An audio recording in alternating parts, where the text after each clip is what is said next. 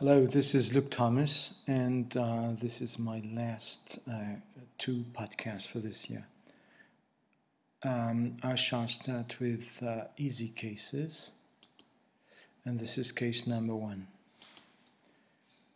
It's a 69 year old male patient, and he complains about this red spot on his nose. It has been present for a few weeks or months, he doesn't know.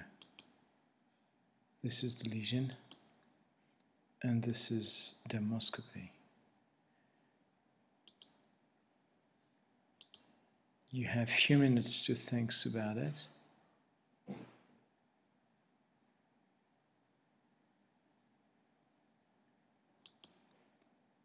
And here are my comments.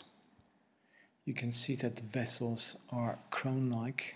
Uh, it means that they do not cross the center of the lesion and in the center you have a yellowish structureless area. This is typical of a benign sebaceous hyperplasia. It's a benign lesion and no treatment is required. Case number two. This is a very dark lesion in a very young patient. The parents are scared about it, but it doesn't look too, too worrisome to my eyes. This is a close-up. And this is dermoscopy. And again, you have a few seconds to think, to think about it.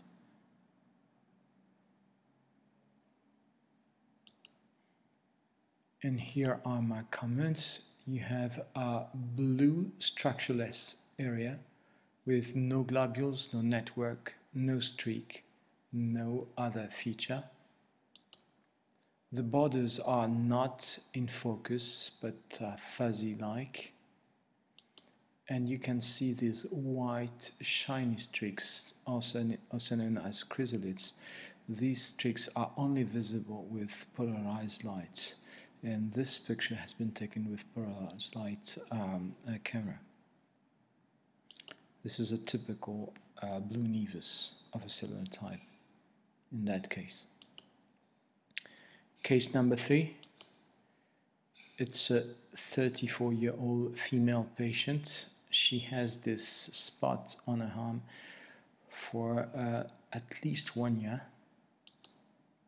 It's changing a little recently, but the lesion is very small, less than 6 millimeters in diameter. And this is dermoscopy.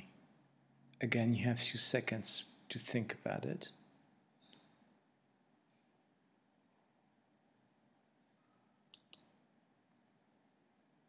And here are my comments. First, you have the uh, multi-composed asymmetrical pattern, which is the pattern of melanoma, but also of dysplastic nevi.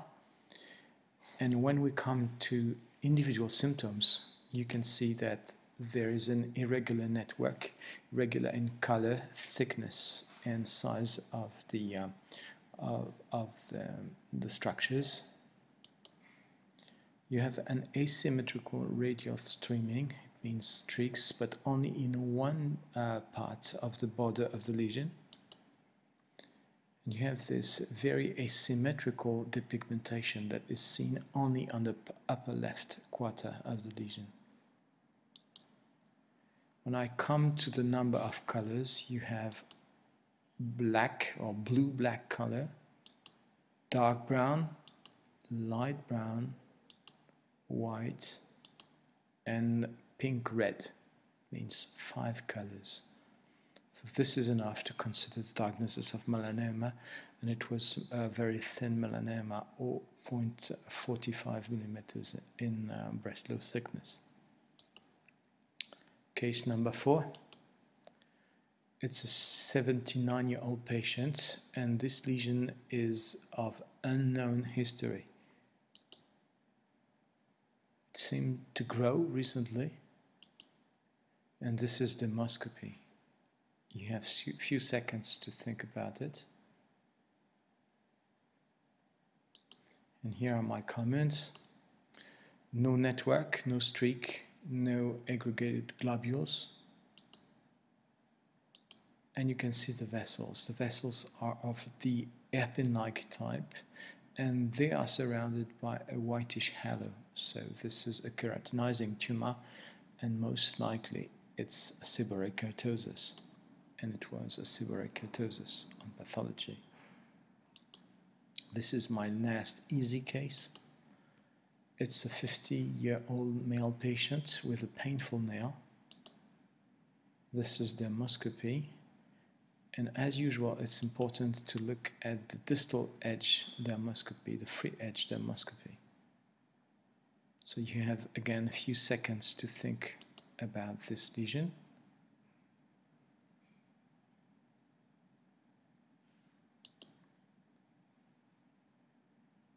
And here are my comments. Looking at the uh, nail plate dermoscopy, you can see that you have multiple colors and uh, very unparalleled edges of the lesions. You can see white longitudinal pigmentation called leukonychia and also yellowish longitudinal pigmentation called, called xanthonychia and very subtle signs of subungual hemorrhages called splinter hemorrhages. Looking at the uh, distal border, you can see that uh, there is a, a, localized hyperkeratosis underneath the nail plate exactly in the region where you can see the uh, uh, pigmentation trouble. So this was a squamous cell carcinoma of the nail bed and this is a surgical view. Thank you very much. Goodbye.